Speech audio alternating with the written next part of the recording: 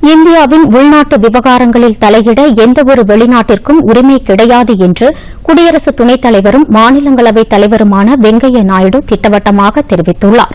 மாநிலங்களவையில் இன்று காலை பேசிய சிவசேனா உறுப்பினர் அனில் தேசாய் மத்திய அரசு கொண்டு வந்துள்ள குடியுரிமை திருத்த சட்டம் தொடர்பாக ஐரோப்பிய நாடாளுமன்றத்தில் தீர்மானம் கொண்டுவரப்பட்டுள்ளது பற்றி குறிப்பிட்டார்.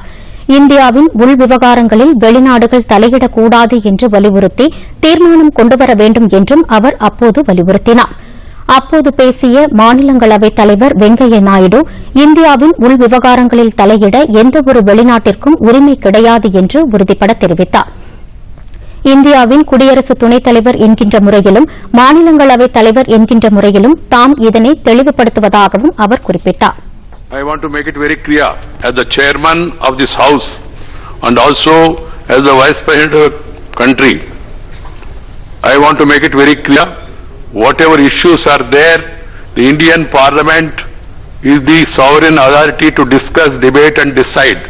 The outside countries have no right to interfere in our internal affairs. I have already made it very clear, I am making it once again very clear. This is not a political issue.